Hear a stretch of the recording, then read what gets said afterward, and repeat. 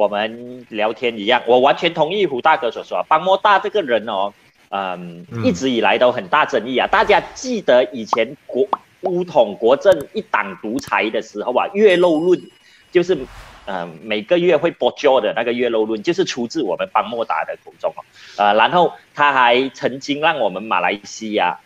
闻名国际啊。当呃德国在世界杯学习巴西的时候，他竟然说 “Long Life Hitler” 这样子的话哦。嗯，这个东西是非常敏感的哦。你去赞扬希特勒，说希特勒万岁，这个在欧美。呃，是一个很严重的事情。你去到德国，甚至是会被抓的。所以邦莫大本，然后他也在，他也比过那个中指，然后也在赌场被拍到过，然后在国会骂粗话。所以他一直以来都是一个很争议的人物。像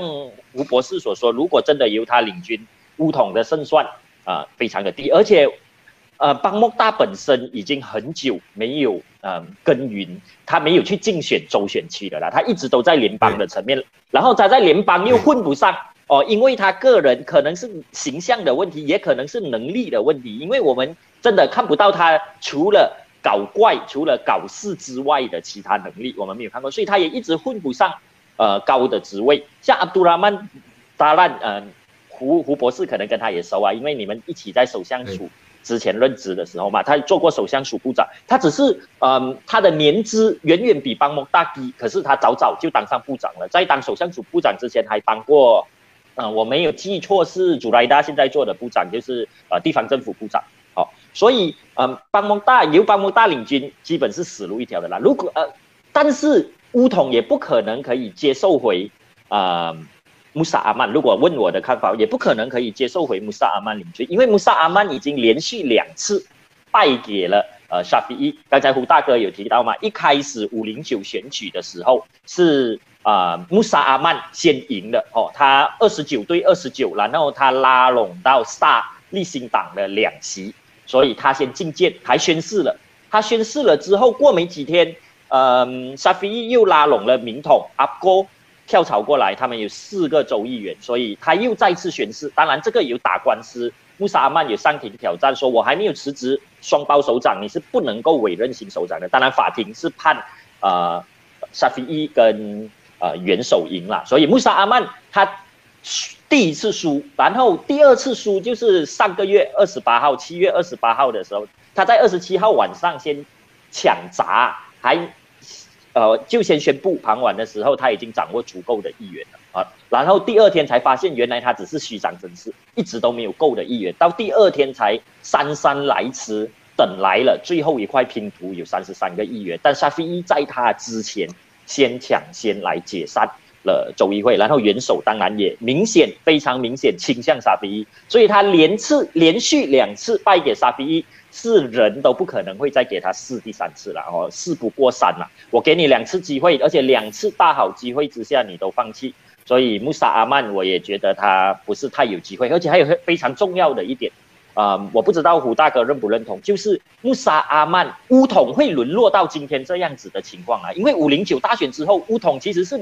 乌统沙巴，并不是像大家所说达拉固死定了，没有哦，他竞选三十二席赢超过一半，赢十四席。赢十七席，其实跟沙菲伊差不多一样。沙菲伊赢呃竞选四十五席，应该是赢二十多席，哦，呃二十几我我记不太清楚了，都是五十八仙的胜率，哦，所以乌统没有大家想的那么不堪。但为什么乌统会突然大厦倾倒啊？嗯，整座大厦突然就轰然倒塌，因为他的领头人，他这个沙巴前首长在丢失了政权之后，竟然落荒而逃啊啊！偷渡出国去英国养病，然后放出自己奄奄一息的照片，说自己呃去养病，到自己的呃州议员职位，如果再不宣誓就要丢失的情况，他才姗姗来迟的回来宣誓。哦，呃，他这个落跑的形象，当整个大厦要你撑着，整个困难的情况要你挺住的时候，你却丢下我们乌统，结果直接造成乌统十七个国会议员跳到完了，只剩下他一个。哦所以他其实是整个事情发生，他必须负上最大的责任。这两个情况下，我认为穆萨阿曼也不可能，嗯，有机会可以再次领军的啦。所以这也是为什么穆萨阿曼刚才胡大哥有提到，穆萨阿曼为什么也也要去法庭挑战。虽然宪法讲得很明，刚才胡大哥也有解释宪法。胡大哥是法律博士哦，不要不要开玩笑。胡大哥也有讲到这个宪法的东西，法宪法讲到很明，这个是州元首的决定，州元首的权限哦。当嗯州首长提出要解散议会，球就到了州元首的手上，他有 discretion 要接受还是拒绝哦。他人并没有智慧的余地，所以嗯就是这样子的情况啊。乌统才那才会整个倾倒，所以我也不认为穆萨曼。所以阿杜拉曼达兰其实他现在讲啊这个东西，他他他背后的意思就是应该由我来领导了哦，直接一点。但是阿杜拉曼达兰自己在上一届大选西海岸，他离开他自己的老巢，他竞选了很多届的 Kota Baru，去竞选什呃另外一个国会议席，在也是在西海岸，就在隔壁。的选区结果输，哦大输，然后他自己的国大本路也丢了，两个都输给瓦里善的手上，所以他这个败军之将要来领军也是有一点，呃，也有也是有一点名不正言不顺啊，所以我的看法跟胡大哥一样，呃，我我认为沙菲伊是占据绝大的优势的哦，只是看他能不能单独执政罢了哦，我一开始就说，哦，胡大哥来交回给你，看你有什么需要补充的，在那之前大家记得帮我们点赞分享哦。啊，点赞分享，邀请更多人来看。我们好不容易邀请到胡博士哦，鼎鼎大名的时事评论员，来，胡博士。没有，不敢，不敢，谢谢你的呃这个称赞。呃，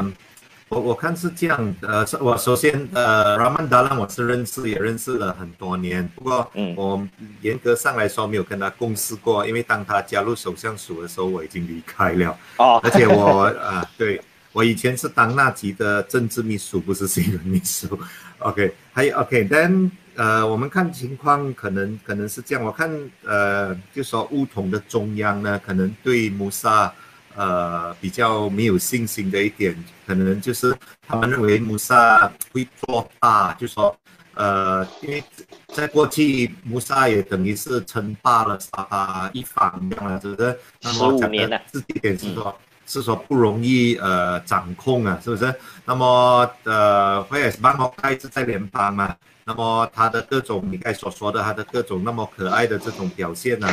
看在看在你要你要知道乌统的那种想法是怎么样，尤其是乌统你们联邦的那种想法是怎么样的？这个人呢越多这种这样的不三不四的这种问题，是不是？那么不伦不类了，不可以讲不三不四啊，不伦不类的这种问题，都是更最好的，因为他他他就容易掌握他了嘛，是不是？你你最怕的是啊，沙将来变成一方诸侯在那边呢，然后你以后要掌控它就非常不容易。所以我们看，其实呃，马来西亚一般上都是这样，就说我们看政治斗争的时候啊。其实真正的政治斗争，并不是什么两大阵营啊，西门跟国门或跟国政之间的那个斗，那个当然也重要了。其实是每一个党啊，不管是朝野的里面的那种各种的权力斗争的这个呃呃的这个呃重重要性